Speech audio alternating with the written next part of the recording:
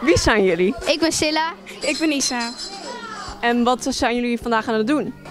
Ehm, wij zijn nu bezig met de pannenkoekendag. En wat houdt dat precies in? Nou, Ehm. ehm, eh, onze opa's en oma's hebben wij zeg maar uitgenodigd. En, ehm en eh, die mochten we uitnodigen om pannenkoeken te komen eten met ons. En hebben jullie zelf al veel pannenkoeken gegeten? Eh, nog, Nog niet. niet. En gaan jullie dat nog doen? Ja, Ik denk het wel. denk het ook wel. En zijn de opa en oma's tevreden met jullie pannenkoeken? Ja, volgens mij wel. En heb je ook een eh, lievelingssmaak van de pannenkoeken? Eh, ik hou van appelpannenkoeken. Ik hou heel erg van spekpannenkoeken. Wie zijn jullie? Stan, Pim, Manoa. En wat zijn jullie vandaag aan het doen? Pannenkoekendag vieren en eten. Eh, ja, we restaurant maken, schoonmaken. en ja, wat serieus.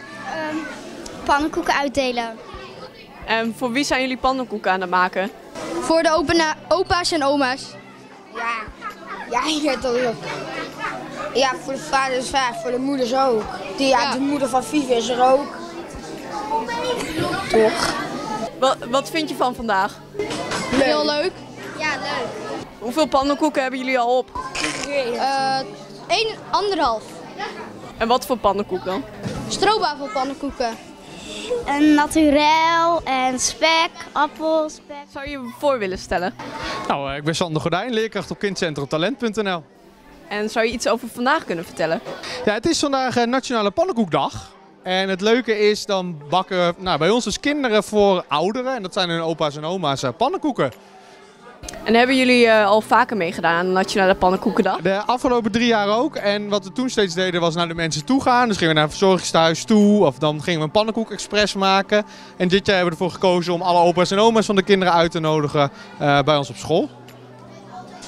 En bent u tevreden met eh, hoeveel open oma's vandaag zijn komen opdagen? Nou ja, zoals je ziet is het volle bak. En het is echt leuk om te zien dat er zoveel opa's en oma's zijn gekomen, tijd hebben genomen ja, om aan de slag te gaan. En de kinderen bedienen echt. En dat vind ik heel leuk om te zien. Eigenlijk doen wij als leerkrachten niks, maar er komen ouders bakken, eh, kinderen bakken de pannenkoeken en die gaan ze serveren. En ze hebben menukaarten gemaakt en nou, van alles. Heel leerzaam ook.